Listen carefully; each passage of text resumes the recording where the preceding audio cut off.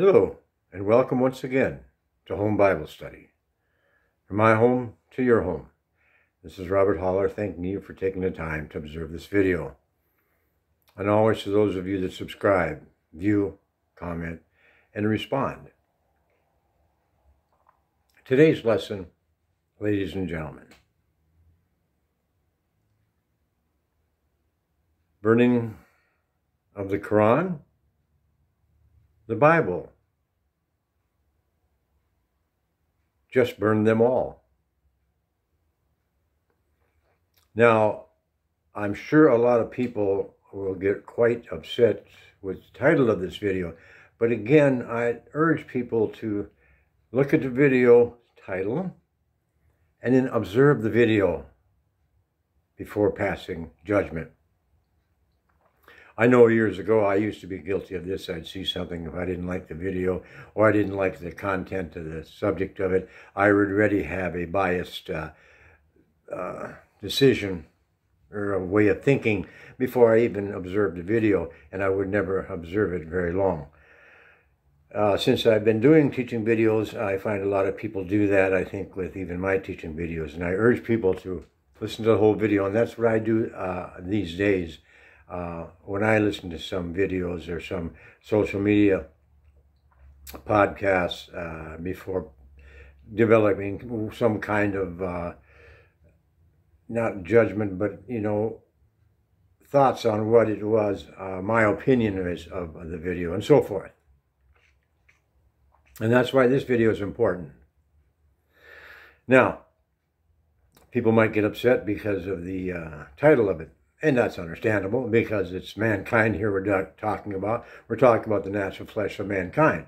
And we're talking about the world, we're talking about cultures, we're talking about civilizations and laws of the land, government rules, and all this kind of things, all intermixed, entwined in with these civilizations. And over the recent years, there's been, been a big uh, uh, stink, if you will, when someone burns the Quran, which is the holy book of the Muslim religion and then in turn they'll burn the Bible.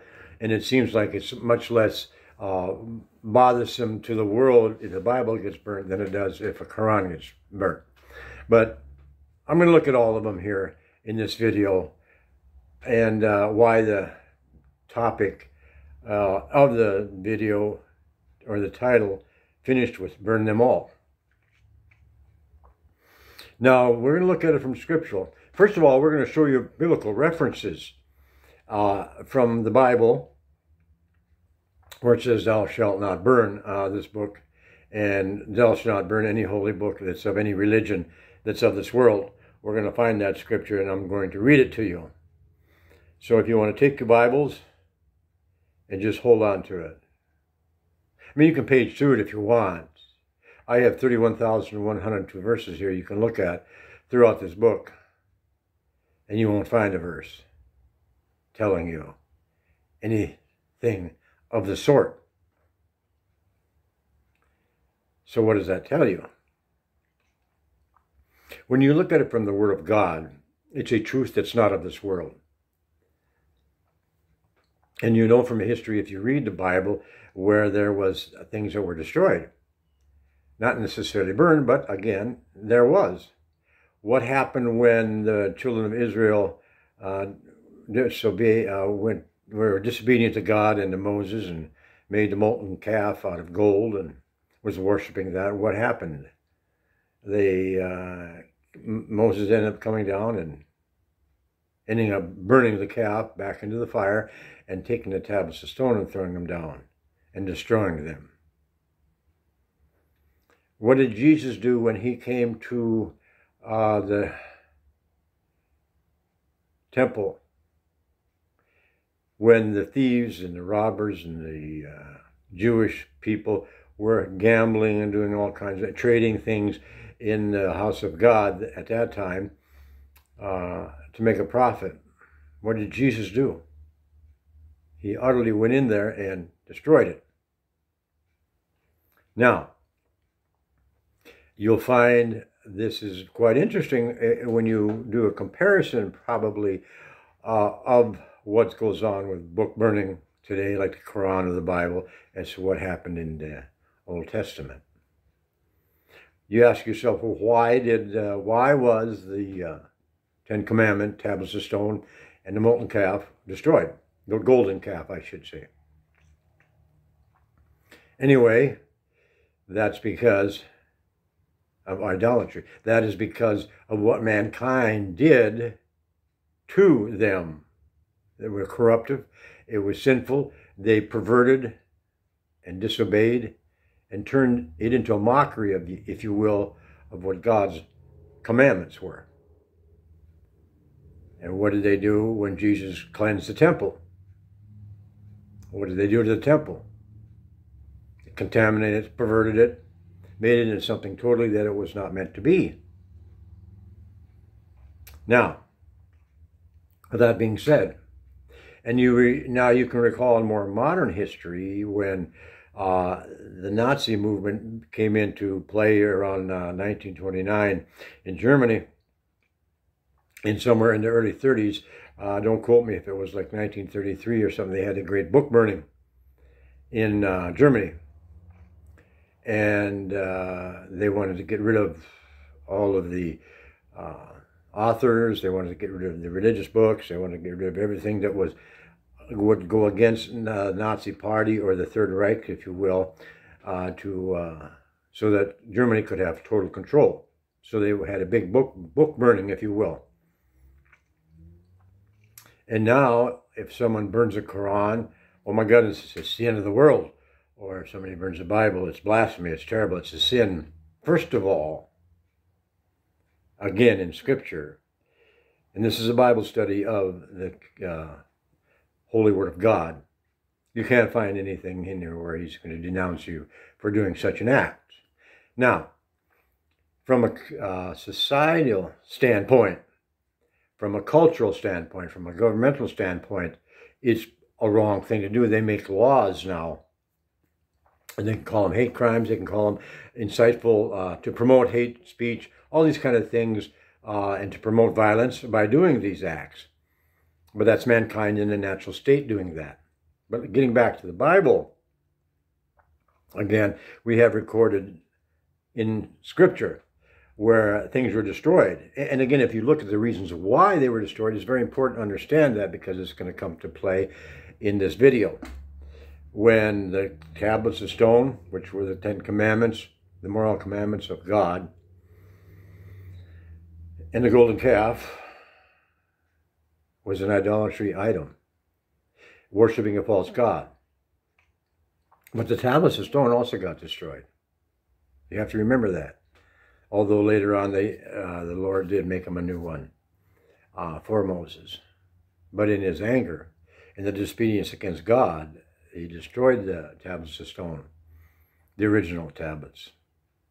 And then Jesus had no problem going in and utterly cleansing the temple and destroying everything that the people had for their own profits, for their own advantage of the flesh. Now, how does that play into uh, burning of the Quran or the Bible today, or the book burning that was took place in Nazi Germany back in the uh, 1930s? What they all have in common is the defiling, the defacing, and the idolatry and the worshiping of other gods in other ways and other means than the God of all creation. All of these things have that in common. Whether it's the book burning of uh, Germany in uh, the 1930s, or burning of a Quran today, or a Bible. Now, why would I say a Bible and the Quran today? falls into that category. For the simple reason, ladies and gentlemen, the Quran is a separate holy book of a separate religion, totally separate, supposedly, from Christianity. Although when you look at them, uh, it's not improbable to think that the uh, Islam is an offset of Roman Catholicism. But nevertheless, they have their own book. There's another religion that has their own book. It's Mormonism. What about Roman Catholicism? They have their own Holy Bible according to Roman Catholicism.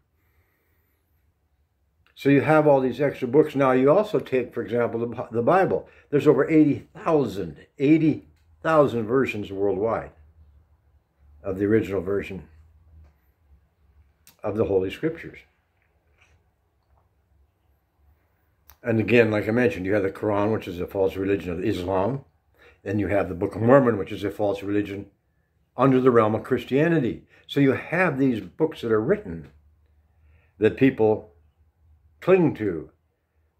And they cling to these versions where they've changed in the, in the religion of Christianity, they changed the original Bible to make it easier to understand, to make the language more careful and easier for people to grasp according to what mankind's religions want to teach and preach according to their doctrines so that it's justifiable in their minds, which is finite, and the minds of those that read them or fall under the realm of the religion of Christianity and of certain denominations. In fact, there is even a woke presentations of the Bible coming out of today, which means that they're changing things to incorporate the gay movement, uh, all this other dung that uh, they're having out there in civil society now, of course, where everybody wants to get along and everybody needs to accept everybody else for who and what they are.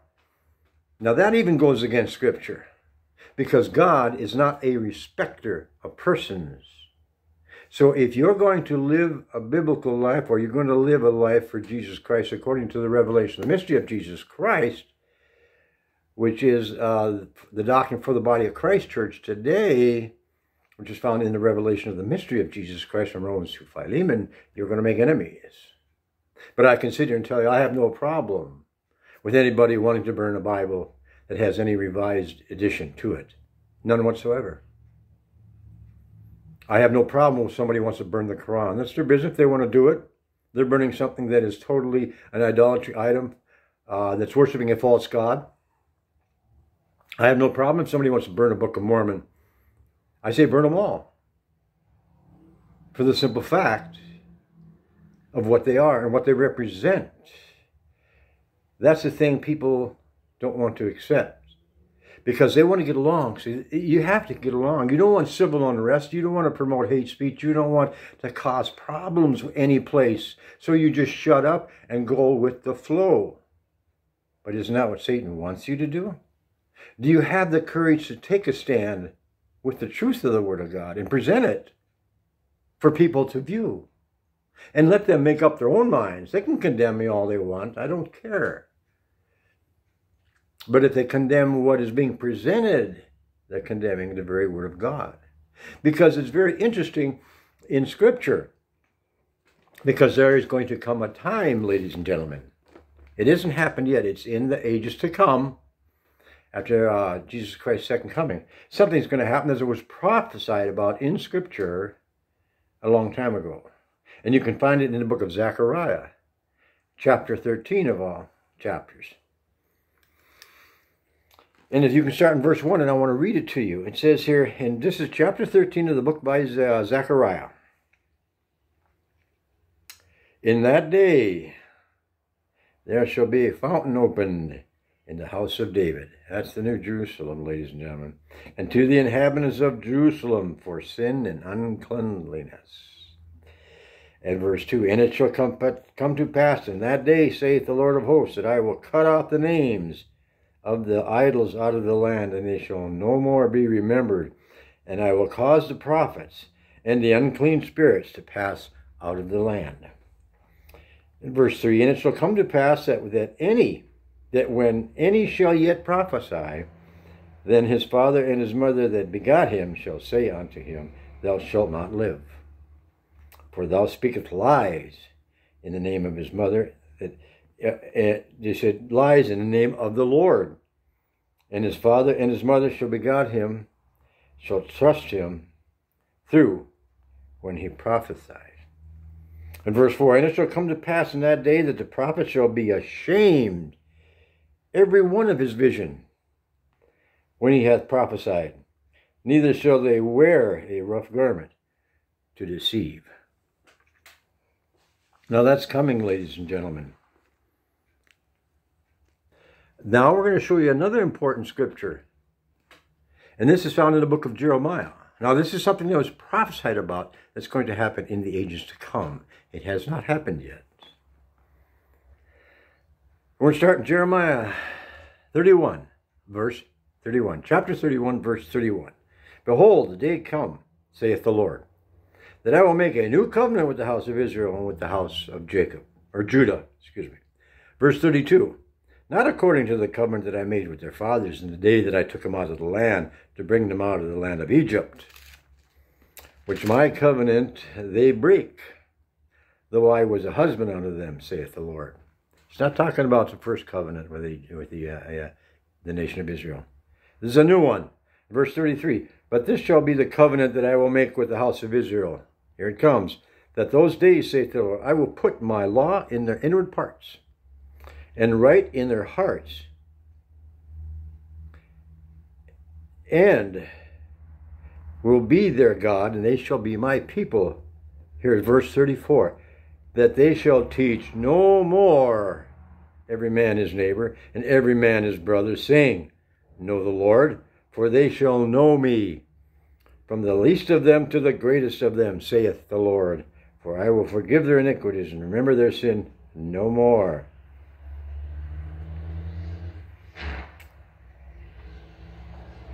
That is what's coming.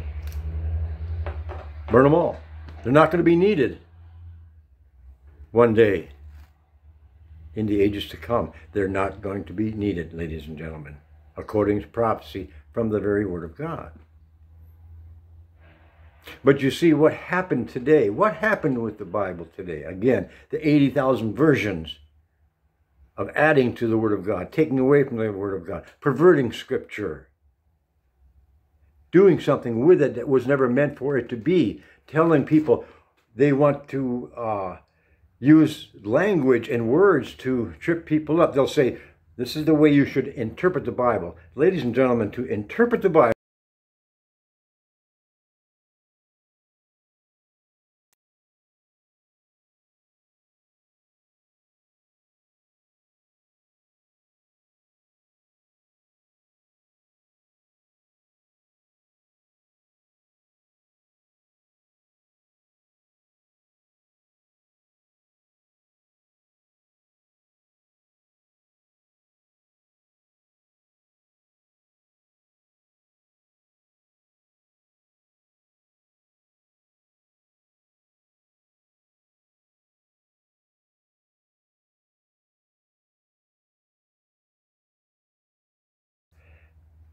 So with that being said, and if you look in Proverbs chapter 30, verse uh, 6, it says, thou, Add thou not unto his word, lest he reprove thee, and thou be found a liar.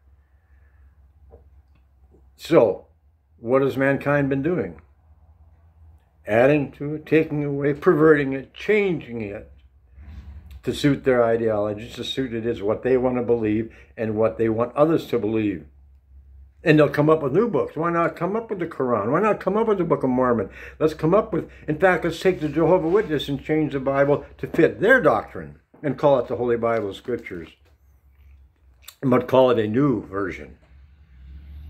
And that's what's even going to happen with the woke movement. You're going to have a gay Bible, ladies and gentlemen. Mark my words, it's coming. And if you burn the gay Bible, you will go to prison.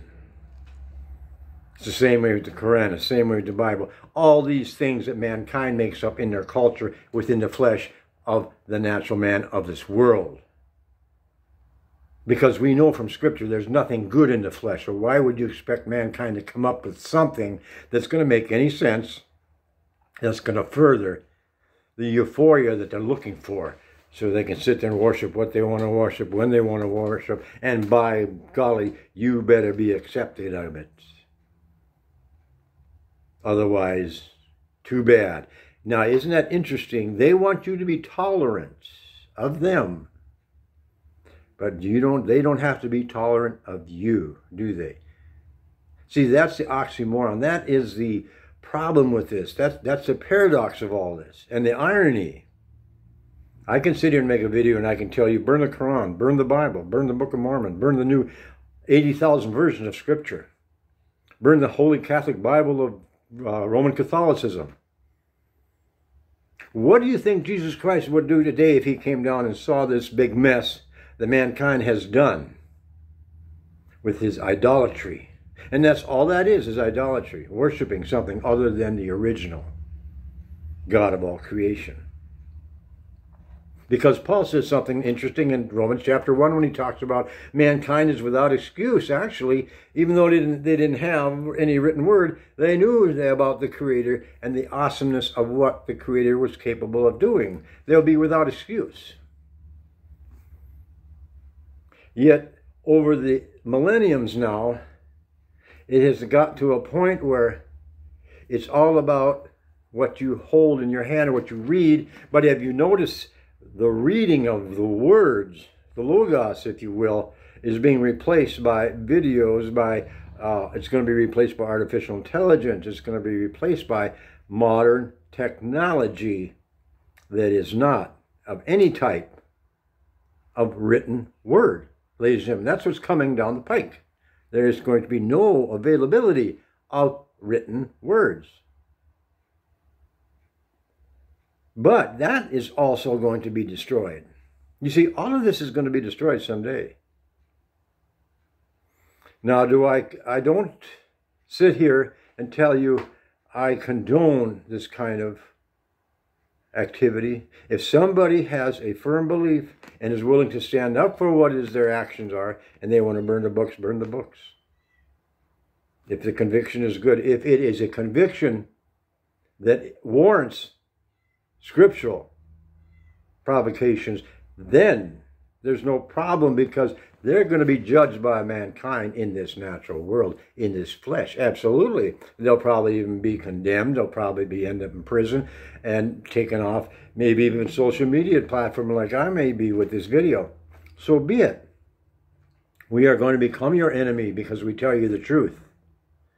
You just look at it, and you look at religions, whether it's Christianity, whether it's Islam, whether it's Buddhism, whether it's um, Mormonism, whether it's Jehovah Witness, or all the denominations and non-denominations we have under Christianity, plus all the religions of cultures throughout the world, mysticisms, uh, Hinduism, uh, reincarnation, all these kind of things. What have they done? They've and uh, these New Age religions, which aren't really New Age, they just come back, resurface again uh, every once in a while uh, from the Tower of Babel. It's the same with cults. They're all out there, and people worship in these.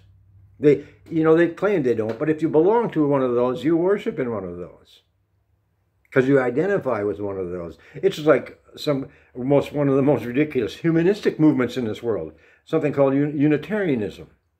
Then there's Scientology. There's all these religions that they quote as a religion are of a false entity. It's no different than setting up the things in the temple of, the, of God where people defiled the temple. Well, people are defying the very temple of Jesus Christ today, the cross, and that Jesus Christ definitely does not live within these people. His spirit is not in these people. There is no spirit within these people, ladies and gentlemen, because the spirit is dead. So they will cling to whatever it is, and that's what's going to happen. And it's going to get worse because Paul talks about that in the revelation of the mystery in uh, Timothy. They're going to have itchy ears. They're going to fall away. They're going to uh, leave doctrines of devils. They're going to have itchy ears. They're going to turn from the truth and believe the fables. That's why we must stand strong and we must promote, no matter when it is. We must give the Word of God with sound doctrine. And that's why it's important to study the Word of God because there's going to come a day, I don't know if it's going to be in my lifetime, but there's going to be a day when there's not going to be any books available to read. Then what are they going to call? What are they going to do when they have no books to burn to protest or whatever the case might be? Are they going to go against AI, artificial intelligence? Uh, good luck with that. But this is all stuff that's coming down the pike. That's why in a, a video like this, I have no problem sitting here and telling you that are viewing this video. You want to burn a Quran? Go ahead. You want to burn a Bible? Go ahead. You want to burn any other religious book that's affiliated with any kind of false religion or cult? Go ahead. You want to burn any satanic books? Go ahead. Because if your convictions are of Scripture, if your convictions are of Jesus Christ of Scripture and of the revelation of the mystery, although he tells you you try to get along with people as best you can, but you're a sol soldier for Jesus Christ, an ambassador for Jesus Christ, and you are an evangelist for Jesus Christ. And what you're fighting against and wrestling against is not flesh and blood. But you understand the dangers of the flesh and blood because they are, are being represented by spiritual witness in high places, principalities, powers, and rulers of the darkness of this world. That's what you're fighting against. You don't necessarily have to go out and burn the books, but you can just go out there and tell people, let's burn them if you want. Something has to be done. And it's going to be done in a mass scale. It's not going to be done now by putting out a video like this. But Jesus Christ will make sure one day it's all going to be wiped out clean. And I'm not talking about just books here. I'm talking about statues. I'm talking about buildings. I'm talking about the symbol of the cross. I'm talking about all these idolatry symbols, whether it's the moon of Muslims, whether it's whatever the uh, statue of Buddha, the god of Hinduism, all the idolatry of Roman Catholicism, all these religious items are going to be wiped out and no longer going to be a part of the existence of Jesus Christ's kingdom. Because they represent sin, they're all part of the contamination that Satan has brought in since the fall of mankind back in Genesis chapter 3. That's why to sit here today and tell you, go ahead, start getting rid of the idols. I have no problem with that. I'd promote that. And I have no fear. If they want to cancel me, if it's my last video, so be it. You have the truth. What you're going to do with it is beyond is entirely up to you because, ladies and gentlemen, in the long run, what is going to happen to all the people that you accepted, that you had showed respect for because you just wanted to get along with them? Even though you disagree with what they're doing or what they represent, you still, in that aspect, are condoning what they're doing because you're not standing up against it. And guess where you'll end up? With them in hell, waiting on the white, great white throne judgment and ending up in the lake of fire forever because of that issue. That respect, that civil camaraderie so you don't make civil unrest. You don't want to promote hate speech. You don't want to promote violence. You don't want to promote unrest, uh, destabilization, whatever you want to call it, whatever what a title you want to put to it. Because you went along with everybody. Because that's who you are. You're a Christian. You're loving. You're full of compassion, understanding. Was Jesus Christ full of compassion and understanding when he cleansed the temple? Was God uh, full of understanding and compassion when he brought a flood on this earth that killed every living creature with on this earth except for eight people and two of every living creature? Was he full of compassion and love? How about the people he destroyed throughout the Old Testament? And the reason behind it was justified by God. That's why Jesus Christ, everything he did was justifiable, and the things that he's going to do are justifiable. But we will continue to let this build, see. We won't destroy the books. We won't burn them because we want to get along with everybody. It's going to be to our destruction, ladies and gentlemen, in the end. That's key here. It's going to be our destruction at the end. If we don't take a stand against this evil that is in the world today, run by Satan and his dynamic, demonic helpers that are all over the place doing his bidding for him and drawing people in by the billions, whether it's through religions, whether it's through uh, cults, whether it's through governmental entities, whether it's through culture issue, cultural issues, economical issues, educational issues, it doesn't matter. Our political issues are all going to be in the same place at the end. So it was a video like this, I showed you from Scripture what's coming, and I used examples in Scripture when Jesus Christ couldn't take it no more and had to destroy what it is. Mankind has polluted and mankind has perverted. And that's what mankind has done with the Bible, which was originally the Holy Scriptures of God's Word, spoken through the prophets as they were moved by the Holy Ghost. Look what they've done with it. You aren't going to recognize the Bible in 20 years, ladies and gentlemen, if you don't have an original copy.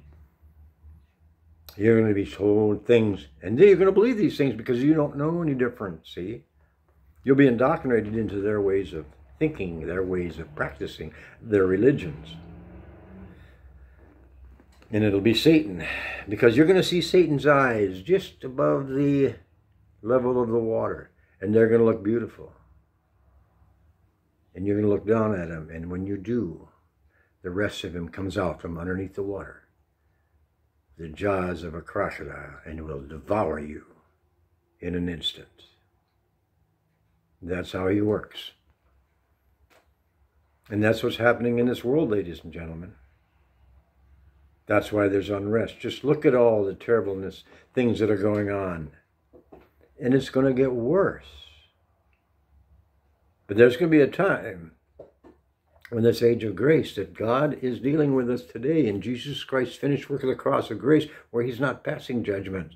You better take advantage of that if I were you because there's going to be a time when the age of grace is finished and he's going to come down with his justice and his judgment of like the world has never ever seen and will never ever again see and experience what he's going to do to you in a great tribulation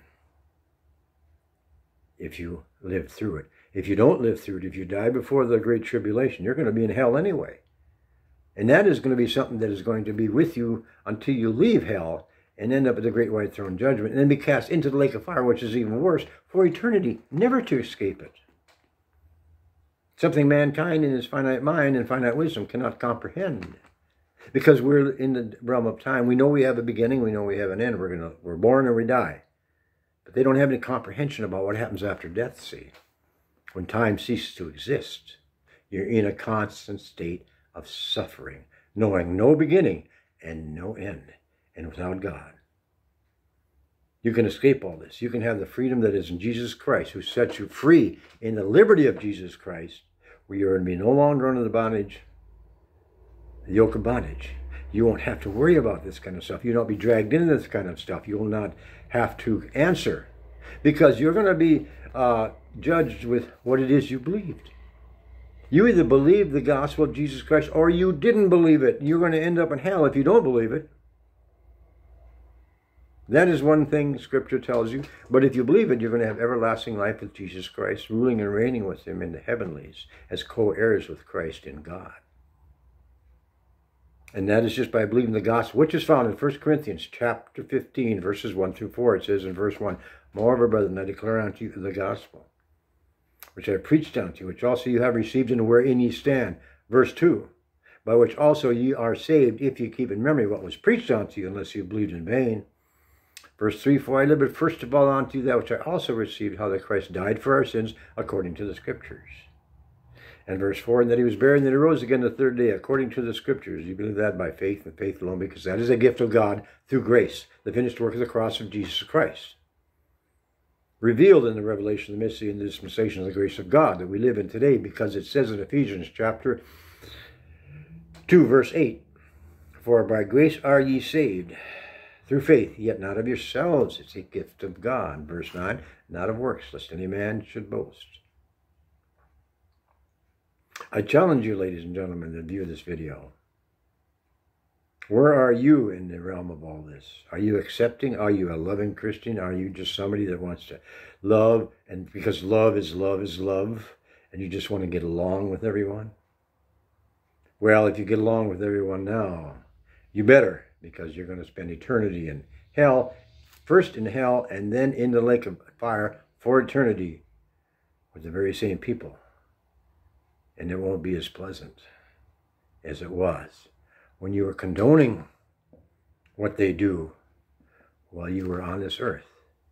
When you had a chance to speak out, to tell people the truth, instead of going along with the great lies that Satan and his demonic helpers have been feeding you your entire existence. Thank you, ladies and gentlemen. Appreciate you listening. This is Home Bible Study. My home to your home. This is Robert Holler. Thanking you. And always remember, good Lord willing, if there is another time.